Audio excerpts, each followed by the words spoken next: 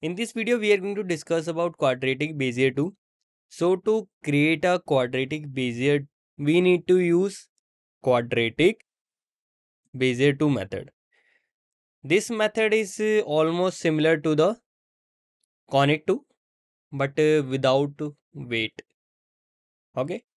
So what we are going to do? First we are going to create a subpath which will start from here and it will end here and uh, the control points which uh, is x1 and x2 are going to control the curve okay? The steepness of the curve.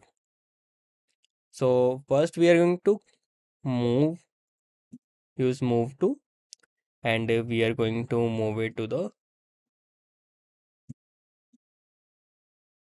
here okay? And also we need to specify ending points. So the ending points would be size dot width and size dot height half. I'm using same coordinates here like we have used in the conicTo but uh, you will see some changes. Here size dot width half and size dot height so as you can see, it created a parabola.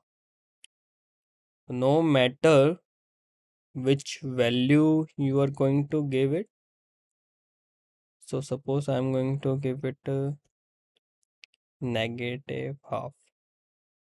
As you can see, it created a parabola. It still created a parabola. Okay.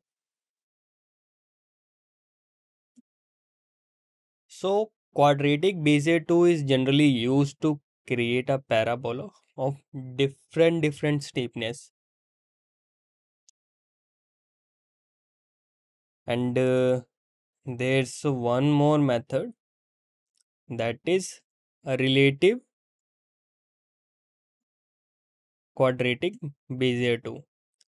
So like my previous videos, this method consider this point these points to create a Bezier 2 curve.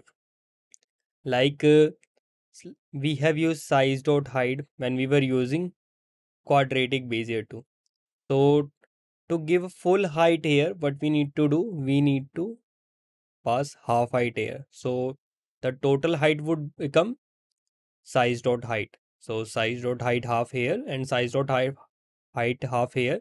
So it will be it will become size dot height. Okay?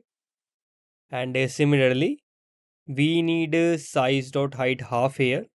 So we need to pass uh, 0 so what it will do it will be like this.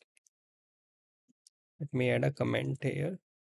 So it will become size dot height half one second. Size dot half plus 0 it will become? Size dot half. Okay so eventually that 0 will become size dot height half. So this is all about quadraticBezierTo and uh, relativeQuadraticBezierTo if you want to learn more about custom paint path and uh, flutter advanced you can subscribe to the channel. See you in the next video